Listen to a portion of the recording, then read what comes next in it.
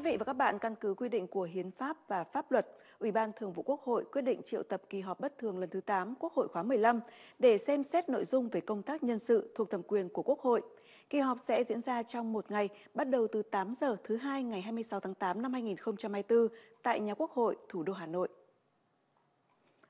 Sáng nay, dưới sự chủ trì của Thủ tướng Phạm Minh Chính, Chính phủ đã họp phiên họp chuyên đề về xây dựng pháp luật để cho ý kiến về 8 nội dung, trong đó có 4 dự án luật, 3 đề nghị xây dựng luật và một nội dung liên quan đến đề nghị của Bộ Lao động Thương binh và Xã hội.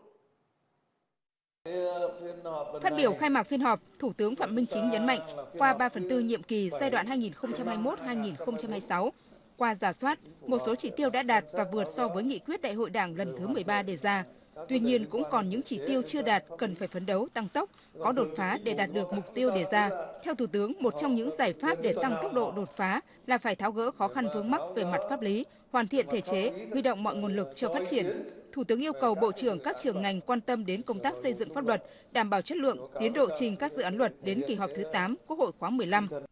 Tại phiên họp, Chính phủ dự kiến sẽ xem xét dự án luật sửa đổi bổ sung một số điều của Luật Sĩ quan Quân đội Nhân dân Việt Nam, dự án pháp lệnh quản lý bảo vệ khu di tích Lăng Chủ tịch Hồ Chí Minh, dự án luật thuế thu nhập doanh nghiệp sửa đổi, dự án luật thuế tiêu thụ đặc biệt sửa đổi, đề nghị xây dựng luật đầu tư công sửa đổi, đề nghị xây dựng luật sửa đổi bổ sung một số điều của luật quy hoạch và luật đầu tư, luật đầu tư theo phương thức đối tác công tư và luật đấu thầu. Đề nghị xây dựng sửa đổi bổ sung một số điều của luật ngân sách nhà nước, luật quản lý sử dụng tài sản công, luật dự trữ quốc gia, luật kế toán, luật kiểm toán độc lập, luật chứng khoán và luật quản lý thuế. Việc điều chuyển trường cao đẳng nghề số 1 Bộ Quốc phòng, trường cao đẳng nghề số 4 Bộ Quốc phòng và trường cao đẳng nghề số 20 Bộ Quốc phòng trực thuộc Bộ Quốc phòng về trực thuộc Bộ Lao động Thương binh và Xã hội